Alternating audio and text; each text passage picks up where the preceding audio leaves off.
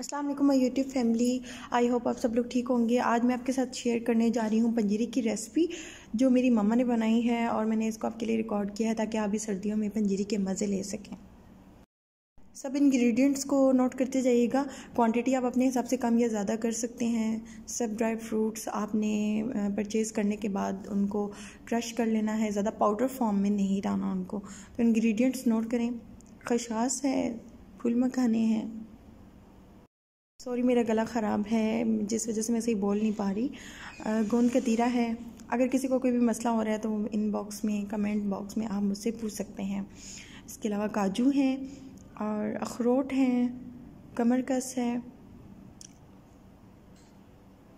चौहारे हैं, साथ इसके इलायची पाउडर है, बादाम है, किशमिश है। इन सब इंग्रेडिएंट को आपने क्रश करने के बाद देसी घी में, देसी घी आप घर में भी बना सकते हैं और रेडीमेड भी ले सकते हैं। उसमें टू टू स्पून्स डाल के आपने इनको फ्राई कर लेना है। बहुत ज़्यादा इसको नहीं भूनना, इसको लो फ्लेम पे करना है, इसको देसी घी में फ्राई करते जाना है।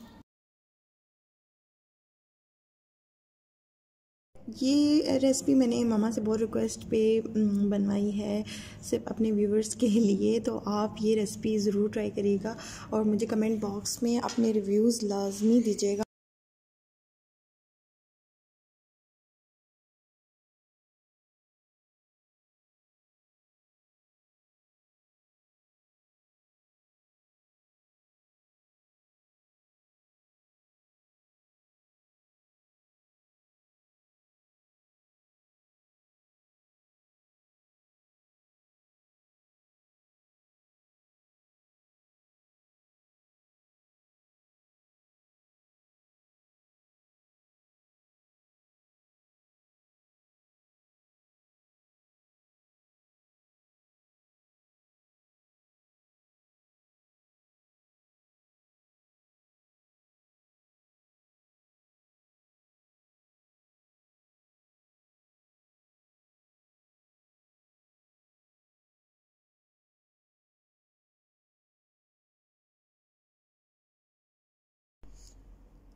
सब मटेरियल जो है वो ड्राई होने के बाद आप बॉल्स बनाने हैं। बॉल्स मुझे तो नहीं बनाने आते, लेकिन मेरी मामा ने बहुत ही खूबसूरत बॉल्स बनाए हैं राउंडेड और ये खाने में इससे भी ज़्यादा मज़े के हैं टेस्टी यमी आप ज़रूर ट्राई कीजिएगा और मुझे कमेंट बॉक्स में अपना फ़ीडबैक ज़रूर दीजिएगा।